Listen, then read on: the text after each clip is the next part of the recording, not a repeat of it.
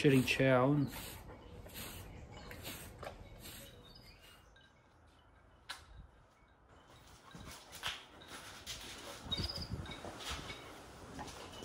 Sit, stay there.